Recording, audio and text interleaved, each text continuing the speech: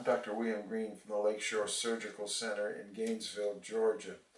Uh, what I'm addressing today is the difference between Essure removal and Essure reversal.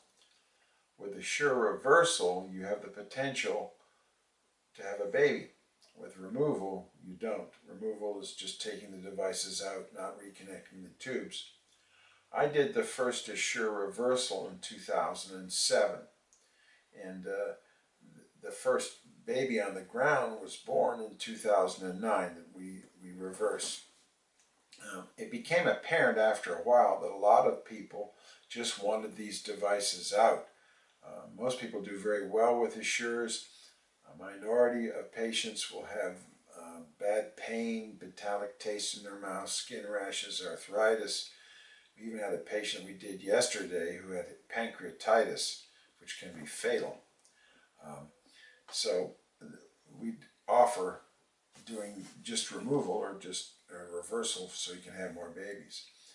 Um, the Essure reversals don't work as well as a regular reversal.